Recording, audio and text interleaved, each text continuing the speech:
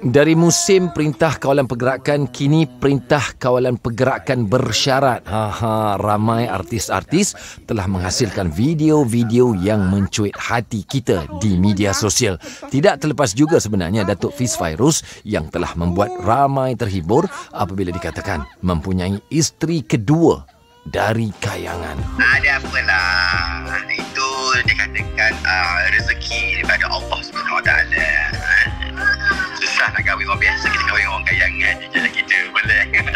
apa yang menarik perhatian di orang cakap bulan-bulan Ramadan ni adalah apabila Fiz Fairuz dikatakan buat live dengan seorang influencer lah macam tu lah di Indonesia. Ha, jadi benda tu menarik perhatian peminat-peminat Fiz. Apa yang menyebabkan Fiz tergerak hati untuk membuat live dengan seseorang yang telah viral sekarang ini? Kita orang macam friend-friend mulanya hari tu tergerak hati untuk buat wish untuk Elmi. Dia selalu tengok Mimi Perry tu punya video.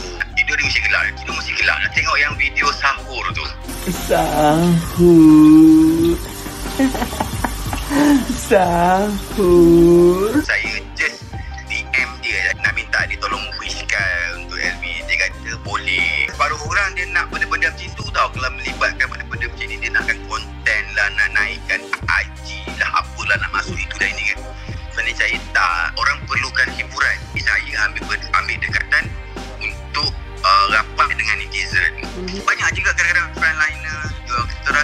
tengok awak punya video masa kita orang ni tengah tengah bekerja tengah tengah-tengah jalan tengah kan.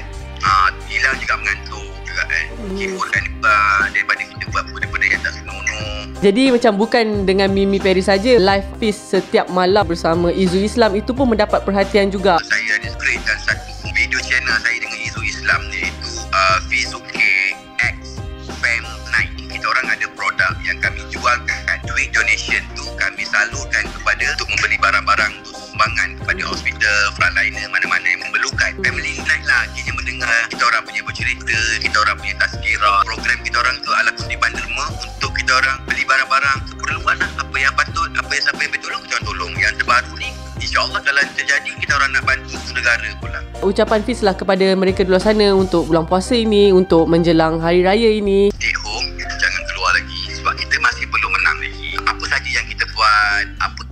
kita lakukan dekat rumah, walaupun siapa pun kita, tolong jangan ambil advantage atas orang lain.